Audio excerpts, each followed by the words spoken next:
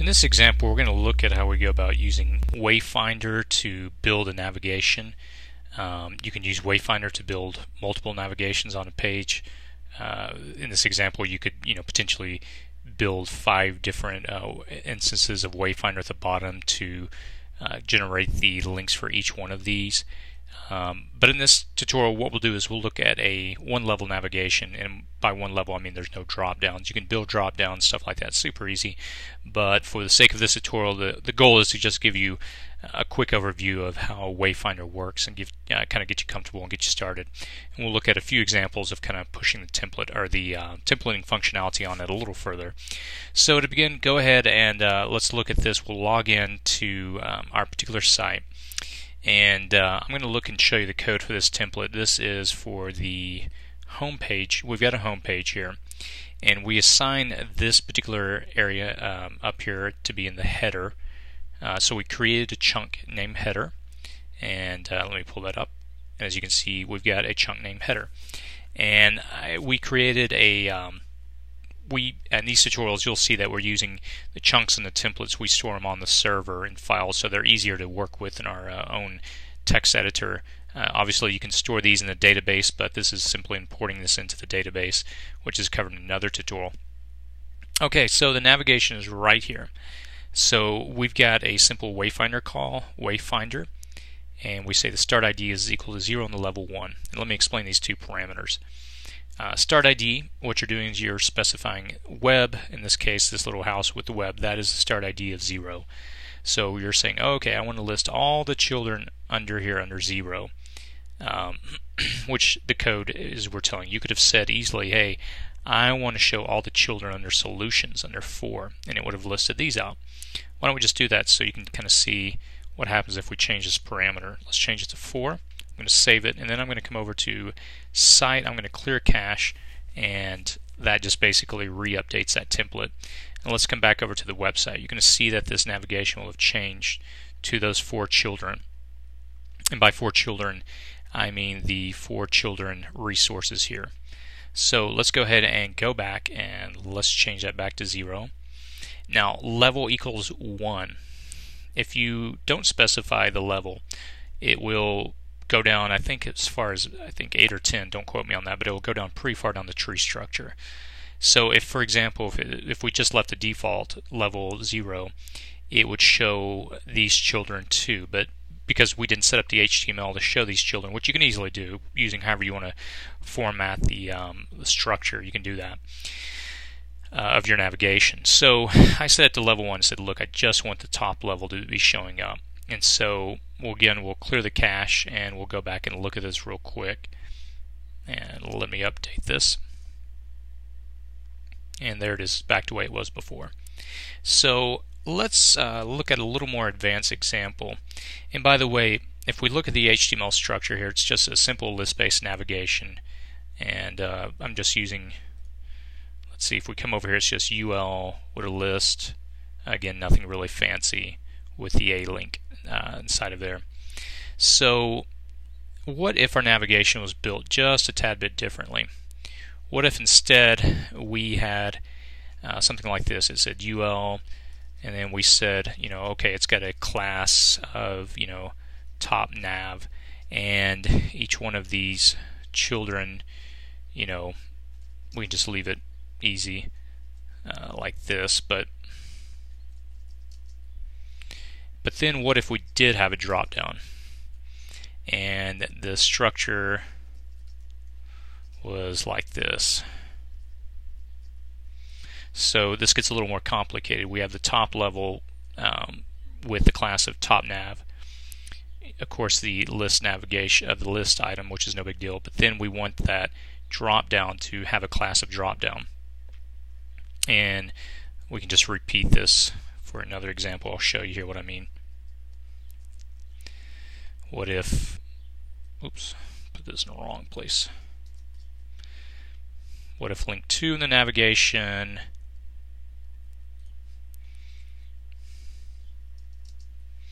we'll call that drop down 1 and 2. Okay. Again, there's nothing really complicated about this, just a simple list-based navigation.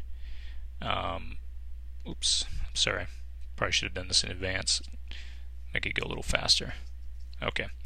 So we've got our navigation with two links, uh, top level and then drop downs under each. And obviously, you know, you can extend this if it had more drop down items. Okay, I think I made the point, so I won't do any more. Okay, so this is a little more advanced example because we need to define the drop that that drop down and you know that class and the class on the outside one. So what you do in ModX is you define this one as the outer TPL and this as the inner TPL. And let me explain. If you go to Google and you type in ModX Revo Wayfinder, the first one that pops up is the documentation. And if you scroll down, you'll see under here under parameters, general parameters, you'll see some a lot of different options. And the one I just explained to you was outer TPL and inner TPL. And let's see, I'm sorry, I'm going a little fast here. Uh, template parameters, here we go. Here we go, we have inner TPL, row TPL, that's uh, you can keep extending this and outer TPL. So you can define what the outer uh, UL is going to be, what the inner one's going to be, like we saw in the drop down, and even what you want in the list. If you know if you want to be able to really expand that out a lot more, you know add all kind of classes and IDs and all sorts of stuff. And again, you can look through their documentation. But I just uh, want, and again, if you go down here, here's the parameters and explains each one a little more. But I'm not going to go into a lot of detail because, again, with ModX, you can go into an infinite amount of detail to configure and change things as much as you want, which is great about ModX. So what I'm going to do is I'm going to define two. I'm going to define an outer and an inner, and you'll see what I mean here in a minute. So to begin, I'll go to Elements, and I'm going to go to Chunks. And why don't we go ahead and create a new category? Uh, new category. We'll just call it a Wayfinder. Keep things organized. And so I'll get a new chunk and we'll go ahead and create that. And we're going to call this one outer TPL. And again, you can name it whatever you want, but just to make it easier, I'll just call it outer TPL, just keep things organized. Okay, now where is the code for outer TPL? Uh, again, if you come to their documentation and you look, by default, the if you look here, it shows you the default chunks, uh, or rather the default code if you don't specify it has this format right here. So what I'm going to do is I'm just going to copy this. Let's come over here. Oops, right here. And I'm going to take that ID out right there. They were just using an example with that. Okay, what we've just done is defined an outer TPL. And this code right here, this WF wrapper, is going to be populated with what you're seeing here. So unless you want to even configure that more, which you don't have to, we'll just let the system handle that itself. We'll have it set the default. So what I'm going to do is I'll just go ahead and say, okay, um, I want to give it its own class, and let's come over here. I want to give it the class of top nav.